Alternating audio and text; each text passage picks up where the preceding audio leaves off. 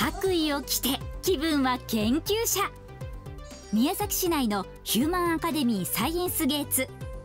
県内では珍しい科学の実験教室です。あの子どもたちはみんなこの実験だったりサイエンスのワクワク感が大好きだと思うんですね。それをどうにかちっちゃいうちに体験としてつなげられないかなと思って。自分たちで実験をしその理由を考える子どもたち自ら発見する喜びをこの教室を通じて学びます。失敗したりしましたけど楽しかったです。もう全部好きだからいろいろ学べたりして楽しいです。